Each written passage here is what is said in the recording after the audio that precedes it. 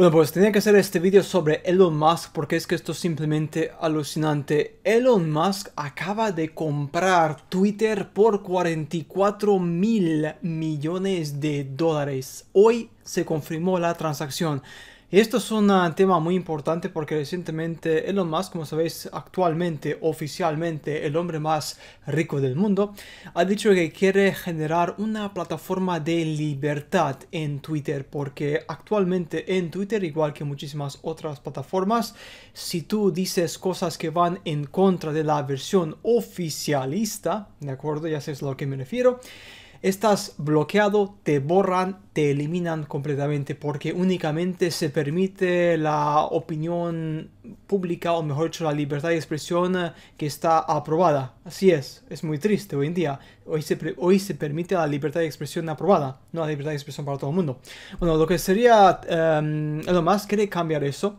Pues Elon Musk, la persona más rica del mundo, prometió hacer Twitter que sea mejor que nunca y proteger Twitter como la plaza digital donde se debaten asuntos vitales para el futuro de la humanidad. Esto es muy interesante, esto me parece muy interesante y muy curioso. Hay gente que está odiando esto de que lo compró. Me parece muy bien, ¿sabes por qué? Porque quiero ver qué va a pasar, porque este hombre promete muchas cosas. Vamos a ver si realmente cumple o no está el tema, ¿no?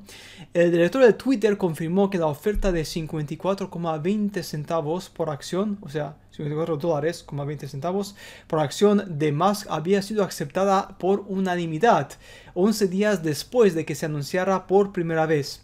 Se Curioso, el número masónico 11, ¿eh? el 11 que es múltiplo, em, obviamente multiplicado por 3, 33.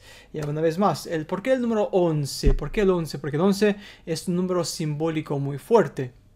Una vez más, esto es muy interesante se produce poco más de una semana después de que Twitter revelara una defensa de píldora venenosa diseñada para evitar que Musk de 50 años pudiese comprar la red social. La píldora venenosa es literalmente de crear más acciones para que así el que quiere comprar todas las acciones no las puede comprar. ¿De acuerdo? Pero esto se ve que no funcionó y ya pues abandonaron esa estrategia y ahora mismo están eh, de acuerdo en vender Twitter completamente a Elon Musk. Eh, el acuerdo hará privado a Twitter, que cotiza en bolsa, y convertirá a Musk, que posee el 9,1% de la empresa, en su propietario de 100%. Twitter dijo que se esperaba que el acuerdo se cerrase este año, pero necesitaría la aprobación de los accionistas y los reguladores. Bien, dice lo siguiente, lo más, la libertad de expresión es la base de una democracia que funcione y Twitter es la plaza pública digital donde se debaten asuntos vitales para el futuro de la humanidad. unas palabras muy fuertes, ¿no? También quiero que Twitter sea mejor que nunca mejorando el producto, el producto con nuevas funciones, haciendo que los algoritmos sean de código abierto para aumentar la confianza, derrotando a los bots de spam y autentificando a todos los humanos.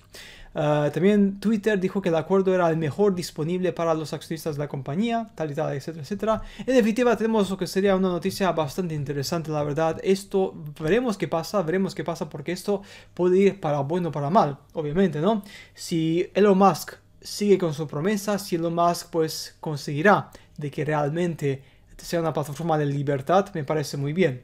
Un coste de 44 mil millones es bastante alto, pero no es una locura porque hay empresas, por ejemplo, para dar un ejemplo, hay empresas que de videojuegos que han comprado otras por más, por unos 60 mil millones, por ejemplo. Recientemente Microsoft compró Bethesda, una empresa de videojuegos, por 60 mil millones. O sea que esto es nada, realmente. ¿no? O sea que hoy en día estas compras que parecen increíblemente grandes no lo son para muchas empresas porque tienen unos recursos increíbles. Pero como dije antes, veremos qué pasa. Estaremos al tanto porque esto me pareció una noticia que tenía que compartirles porque esto es vital para la libertad de expresión. Porque Elon Musk, supuestamente, él quiere defender la libertad de expresión y veremos si cumple y con esto, con este movimiento veremos realmente si este hombre es realmente una persona honesta o es un lobo vestido de oveja. Ya lo veremos en los próximos meses, aproximadamente en los próximos seis meses ya veremos de qué va esto de verdad y cuáles son sus intenciones